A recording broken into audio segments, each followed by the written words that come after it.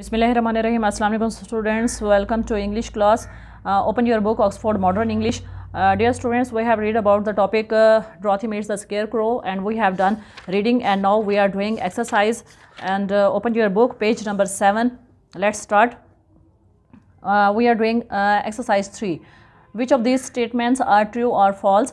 The scarecrow never gets tired अब यहाँ पे वो कह रहे हैं कि आपने ये बताना है कि कौन से ट्रू हैं कौन से फॉल्स हैं तो आपने उसी के सामने जो uh, ये बॉक्स दिया हुआ है तो आपने उसके सामने राइट करना है।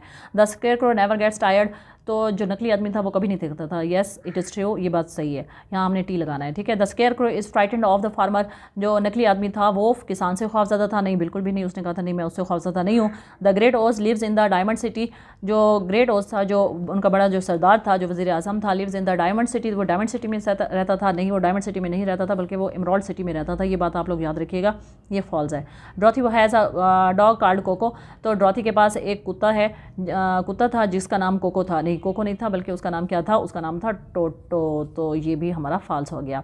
The scarecrow is wearing a blue hat तो नकली आदमी ने जो ब्लू हैट पहनी हुई थी हाँ जी, ये बात ठीक है, उसकी ब्लू हैट थी, और दूसरी बात, वो टायर्ड भी नहीं होता था। ये दो बातें बिल्कुल ठीक है, बाकी जो है वो हमारी, वो फॉल्स में आ रहा है। एक्सरसाइज बी है working with words can you find these words in the story तो स्टूडेंट्स ये जो वर्ड्स दिए हुए हैं, ये जंबल वर्ड्स हैं, इसमें इसके स्पेलिंग जो है वो जंबल्स किए हुए हैं तो आपको समझ नहीं आएगा तो फिर आपने गौर से देखना है कि इन स्पेलिंग से क्या चीज़ बनते हैं, कौन सा वर्ड बनता है जो कि आपकी स्टोरी बुक में है।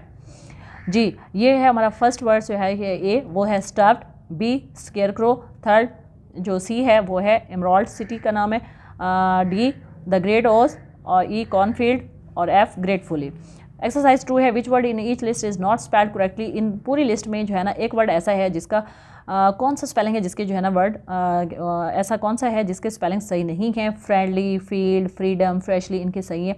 जस्ट फ्राइड की स्पेलिंग गलत है वाई नहीं आता बल्कि आई आता है। तो आपने विद लेड पेंसिल आपने यहाँ पर ही राइट करना है फ्राइड एक्सरसाइज आपने यही बुक पे ही करनी है। B escape discover inspect excuse अब ये गलत है। एक्सक्यूज़ मेरी वॉइस से भी आपको पता चल जाता होगा कि एक्सक्यूज़ नहीं होता है एक्सक्यूज़ होता है ई एक्स एक्स क्यूज़ तो यहाँ पर हमने एक्सक्यूज़ लिखना है तो एक्सक्यूज़ नहीं होता एक्सक्यूज़ होता है। तो एक्स आना था यहाँ पर। डिसाइडेड एस नहीं आता सी आता है। तो उन्होंने आपको एस और सी की वॉइस को जो है ना, वो इस तरह से वो दिया ताकि बच्चों को पता चलता है कि किस, कौन सी स्पेलिंग जो है वो गलत है। तो यहाँ पर बेटा डिसाइडेड होता है। डिसाइडेड का सी आई आता है। D E C I D D decided just हमारा यहाँ एस की बजाय सी आता है। डिसाइडेड होगा। बाकी जितने भी स्पेलिंग है वो ठीक है। डिसमेड हो गया डिस्प्लेड डिस्ट्रॉयड डेजर्टेड बाकी सारे ठीक हैं। Quickly Q quietly queen question quietly की स्पेलिंग गलत है। हमारे यहाँ पर Q U I E T L Y आता है। तो अब हमारे नेक्स्ट है। Try to find this words in the story अब आपको कुछ हिंट्स दिए हुए हैं और आपको ये बताना है कि ये कौन सा है। ठीक है? फॉर एग्ज़ाम्पल जिस तरह ये है कि this keeps an area closed off और प्रोटेक्टेड यानी ये जो है एक एरिया को क्लोज करने के लिए वो किया जाता है, एक एरिया को बंद करने के लिए लगा दी जाती है आर प्रोटेक्टेड या फिर उसको महफूज रखने के लिए वो कर दी जाती है, बनाई जाती है। यूजली मेड ऑफ़ वुड और ये वुड की बनी होती है। बताएँगे क्या चीज़ हो सकती है? आपने पीछे भी देखा है। तो ये जो है, ये देखिए, इसके बारे में बात हो रही है फैंस के बारे में। ये देखिए, ये वुड की बनी हुई है और ये एरिया के आगे है जो उसको क्लोज करने के लिए ताकि इसमें कोई गाय, भैंस वगैरह, कोई बकरी जो है वो खेतों में ना जाए, उसको ख़राब ना करे। तो ये है फेंस दूसरी है बी है something one on head to keep one warm art to keep the sun off कोई ऐसी चीज़ जो कि आपके हेड के ऊपर आपको, आप अपने हेड पर रखते हैं और पहनने के लिए, अपने आपको गर्मी से बचाने के लिए, धूप से बचाने के लिए वो हेड है a thin piece of metal with a short point at one तो एक ऐसी चीज़ एक ऐसा यानी पतला जो मेटल का जो टुकड़ा होता है, जिसकी बहुत ही शार्प पॉइंट होती है, बहुत नोक होती है, और जबकि दूसरा उसका जो, वो सिरा होता है, वो बिल्कुल राउंड होता है तो ये है pin a container use for holding things एक ऐसी चीज़, एक ऐसी चीज़ जो कि उसमें जिसमें हम चीज़ें रखते हैं often made of interwoven strips of wire or cane यानी वो केन या फिर किसी वायर्स की जो उसके अंदर जो स्ट्रिप्स लगी हुई होती हैं, वो उसके साथ वो बुनाई की हुई होती है। एक ऐसा कंटेनर होता है, यानी जो चीज़ को जिसमें हम रखते हैं, जिनमें चीज़ें रखते हैं, वो कौन सी ऐसी चीज़ हो जाती है? वो होती है basket this rodents look like large mice with long tails and pointed snouts अच्छा अब वो कहते हैं, अब एक ऐसी कोई मैमल चीज़ होते हैं जो कि एक बड़े चूहे की तरह नज़र आते हैं और उनकी लॉन्ग टेल भी होती है तो वो क्या चीज़ हो सकती है? वो होता है माइस ठीक है?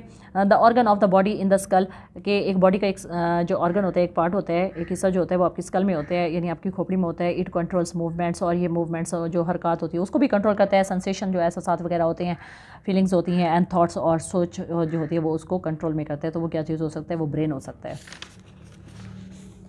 नेक्स्ट हमारा आते हैं write this sentences in your notebook in the correct order तो इसमें हमारी एक स्टोरी है उसको हमने करेक्ट ऑर्डर में लिखना है। इसमें एक आदमी है ये पिक्चर आप लोग देख रहे हैं कि एक आदमी जो है वो वेट करता है वो बस के लिए लेकिन बस नहीं आती जबकि टैक्सी आती है वो इसमें बैठता है फिर वो उससे पैसे भी लेते हैं और वो, वो उसके घर उसे पहुँचा देता है। तो अब ये जो है ना वो सारी वो जंबल है यानी मिक्स की हुई है आगे पीछे बात है। तो इसके लिए ना मैंने नंबरिंग दी हुई है। अगर आप चाहें तो आप ए बी सी से भी नंबरिंग दे सकते हैं। लेकिन अगर जिस तरह आपको आसानी रहे, मुझे ये लग रहा था तो मैंने आपके लिए नंबरिंग दे दी है। फ़र्स्ट ऑफ़ ऑल जो है हमारा ये आएगा डी वाला, जो है हमारा नंबर वन पर आएगा। ही वो सिटिंग ऑन अ बेंच कि वो एक बेंच पर बैठा हुआ था वेटिंग फॉर अ बस बस के इंतज़ार में। ये हमारा नंबर वन हो जाता है। अब वो बस, बंदा जो है वो बस के इंतज़ार में बैठा हुआ था। नंबर टू पे क्या होता है? The bus did not come बस नहीं आती। जब बस नहीं आती तो क्या आती है? आ टैक्सी अराइव्ड तो एक टैक्सी जो है ना, वो पहुँच जाती है and the man got in और आदमी जो है वो अंदर आ जाता है। ठीक है? अच्छा स्टूडेंट्स ये जो, जिसको मैंने हाईलाइट किया हुआ है, ये जो है ना, आपके नाउन हैं। तो आपने मेरे साथ साथ इनको नाउन को भी हाईलाइट करना है।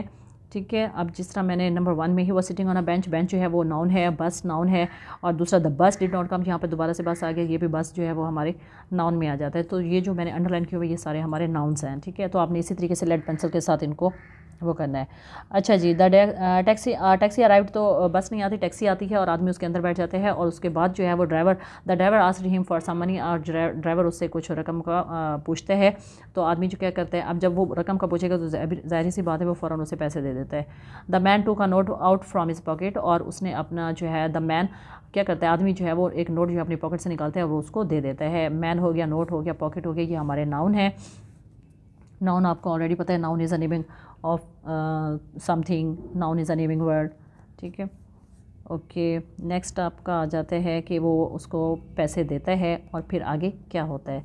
The taxi went off down the road और टैक्सी जो है वो रोड के ऊपर रवाना हो जाती है। सेवन पे आता है, जब वो रोड पर जाती है तो उसके बाद वो बिल आखिर the taxi arrive at the house और वो घर पहुँच जाते हैं। नेक्स्ट है आपकी exercise work in pair and complete the following by matching the statement with the correct question tag आपने ये इनकम्प्लीट स्टेटमेंट है और इसका क्वेश्चन टैग है और आपने उसके साथ जो है ना उसको मैचिंग करनी है। आप चाहें तो ए बी सी के साथ भी नंबरिंग दे सकते हैं। They have match you before वो तुम्हें पहले भी मिल चुके हैं। हैवंट दे क्या वो नहीं मिल चुके? तो इसका हमने यहाँ यहाँ यहाँ इसके साथ हमारा होता है। Let us see whether he is in आओ देखते हैं कि आया वो अंदर है। अब जो है uh, हमारा जो बी के साथ जो है वो हमारा यहाँ पर शैल uh, वही यहाँ पर देखेंगे। हम इसको बी के साथ आप मैचिंग भी कर सकते हैं। अगर आप चाहें तो आप इसको बी से राइट भी कर सकते हैं। You are in the team तुम टीम में हो और अब हमारा आएगा। आर एंट यू क्या नहीं हो? They are very bright aren't they okay it has been stolen hasn't it don't tell anyone तो ये आपने सारा जो है यहाँ से लेकर यहाँ तक आपने सारा जो है ना आपने यहाँ मैचिंग करनी है विद लेड पेंसिल ओके जी। ओके स्टूडेंट्स अल्लाह हाफिज़ and thank you for listening me very carefully okay आप लोगों ने इसको बहुत अच्छे तरीके से पढ़ना है।